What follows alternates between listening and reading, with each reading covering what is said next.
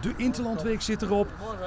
Alle spelers zijn weer terug op de toekomst. Voor aanvang van de training zagen ze dat een van de velden tijdelijk het domein is van een vogel en een tractor. Dat in verband met de aanleg van een nieuw veld. Zondag wachten spelers een grote uitdaging. Meer dan anders is de klassieker een wedstrijd die gewonnen moet worden. Langs de zijlijn een oude bekende, Jari Liedmanen. Voor de legendarische Finn was het een weerzien met oud-medespelers en de talentvolle zoon van een generatiegenoot. Liedmanen zag in de aanloop naar Ajax Feyenoord een training met felle duels, met schitterende reddingen,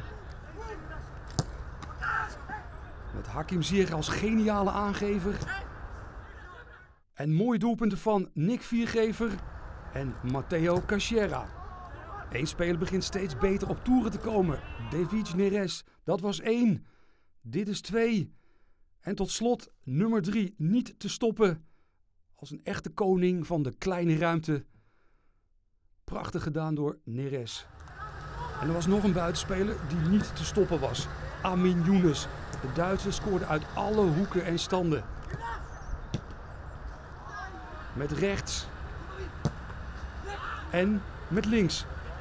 Younes is klaar voor de klassieker van komende zondag. Na afloop was iedereen een beetje moe na de pittige training. Maar als je wint, je daar altijd iets minder last van.